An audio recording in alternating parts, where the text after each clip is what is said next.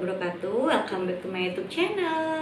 Di video ini aku mau sharing dan ngasih tips ke para moms Bagaimana sih cara penggunaan jimbol pada ibu hamil. Nah senam jimbol ini bisa mom lakukan di usia kehamilan berapapun ya. Tapi di sini aku mau ngasih tips gerakan-gerakan senam jimbol Itu untuk usia kehamilan di atas 8 bulan ya. Karena aku juga mulai menggunakan senam jimbol ini di atas usia kandungan aku kalau nggak salah sekitar 7 bulan gitu. Nah fungsi senam jimbol pada ibu hamil ini sebenarnya itu banyak banget ya moms untuk manfaatnya. Salah satunya untuk meredakan rasa nyeri pinggang yang moms alami ataupun kalau ada moms yang berniat pengen lahiran normal senam jimbol ini juga bagus untuk membuka otot panggul agar peluang lahiran normalnya itu lebih besar ya moms. Dan tentunya untuk manfaat lainnya masih banyak banget. Nanti moms bisa googling-googling aja. Nah sebenarnya gerakan jimbol ini pun itu banyak banget ya mom untuk gerakan-gerakannya.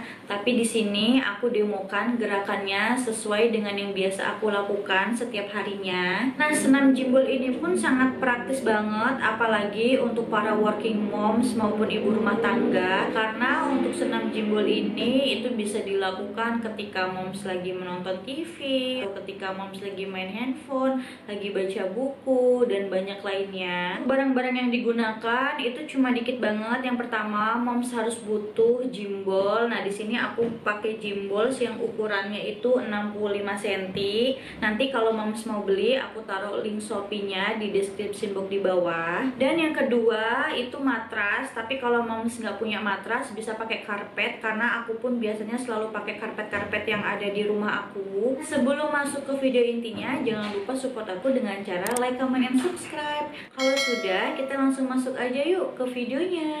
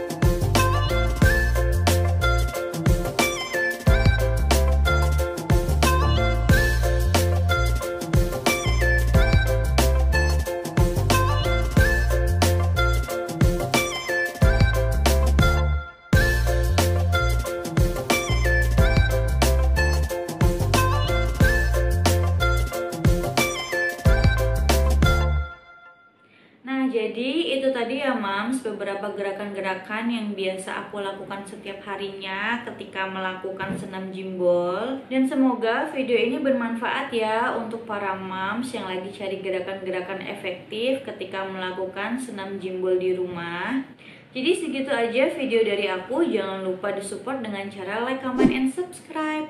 Dan aktifkan tombol lonceng notification karena berikutnya aku bakalan share video-video yang bermanfaat ya mams. Bye. Assalamualaikum warahmatullahi wabarakatuh.